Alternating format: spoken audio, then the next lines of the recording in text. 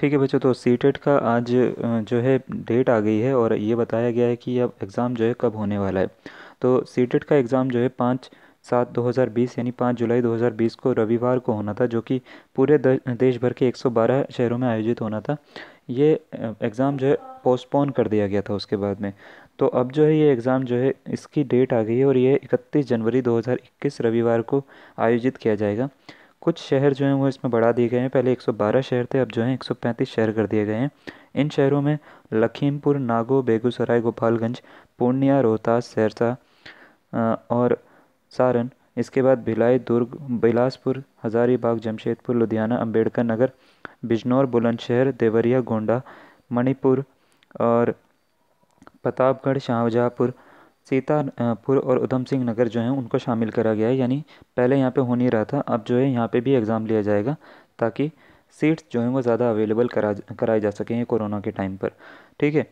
इसके लिए अभी तक जो है कुछ बच्चों ने काफ़ी सारी गलतियाँ करी थी तो उन्होंने करेक्शन के लिए भी आपको टाइम दिया है। यानी इससे पहले आपको करेक्शन का टाइम नहीं दिया गया था, लेकिन आपको फॉर्म में करेक्शन का टाइम दिया गया है। वो नोटिस में आगे क्या बताया गया है उसके बारे में हम बात करते हैं।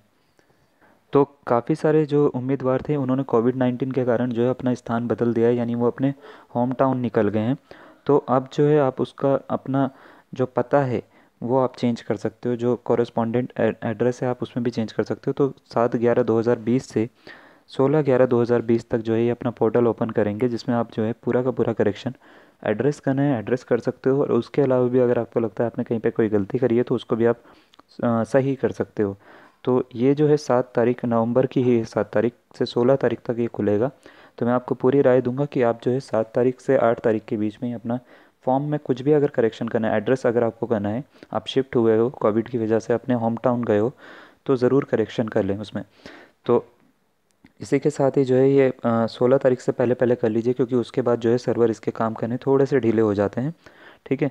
तो अगर आपको कोई भी इससे रिलेटेड पेपर चाहिए सी से रिलेटेड तो आप मुझे बता सकते हैं, मैं आपको पूरे के पूरे पेपर जो है अपलोड कर दूँगा। जितने भी पुराने प्रीवियस पेपर हैं, वो मैं आपको अपलोड कर दूँगा। इसी के साथ अगर आपको कोई सब्जेक्ट का जो है प्रीवियस ईयर पेपर सेट चाहिए तो आपको मैं वो भी प्रोवाइड करवा दूँगा। तो आज के लिए इतना ही, धन्यवाद।